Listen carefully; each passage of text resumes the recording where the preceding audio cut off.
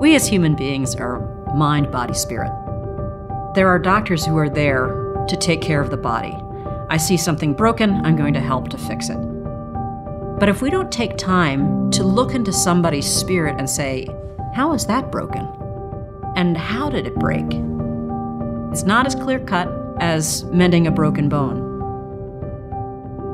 When it comes to first responders and military, we're fix it kind of people. And we think if we can't fix it, then we've failed. The point of faith is really to look inward and say, What do I believe?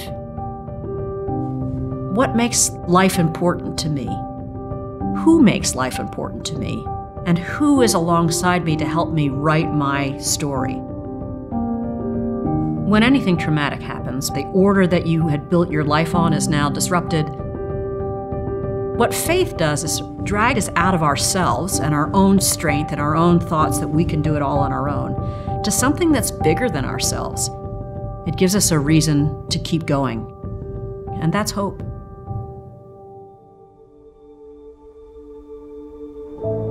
Three years ago, we moved into our apartment complex. He comes home and he's like, hey, one of our neighbors approached me and he asked me if I go to church, if I wanted to go with him. And he was just spiritually not there, angry at God, angry at anything.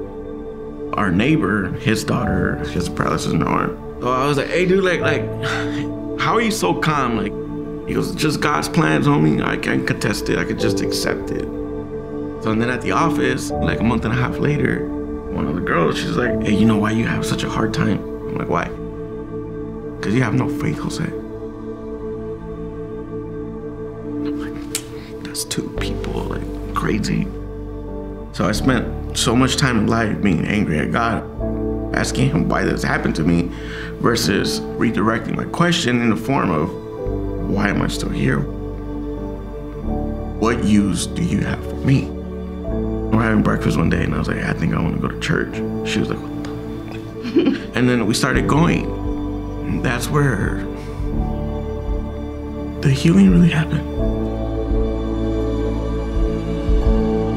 The exciting thing about Life Aid is that John has put his finger on this idea that we need a community, we need to be able to support each other. Isn't that part of what we do as military or first responders anyway? If somebody goes in first, then there's somebody who's got his back. And so we always hold each other up wherever we are in that moment.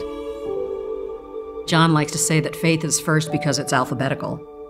I say faith is first because it's foundational.